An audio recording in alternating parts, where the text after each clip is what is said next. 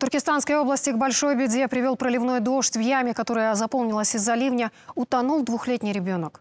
Сильный дождь начался ночью шел 6 часов. Это привело к сходу селя в Бидибекском, Казагурском и Сарагашском районах. Затоплены частные подворья. Известно, что погибло 13 голов скота. Сейчас спасатели откачивают воду и устраняют последствия стихии. Они говорят, что опасности для жителей уже нет. Информацию о гибели ребенка подтвердили в местном ДЧС. В Кызыгуртском районе в селе Кызыгурт дождевая вода скопилась в яме, вырытой в частном дворе. В нее упал и погиб ребенок 2020 года рождения.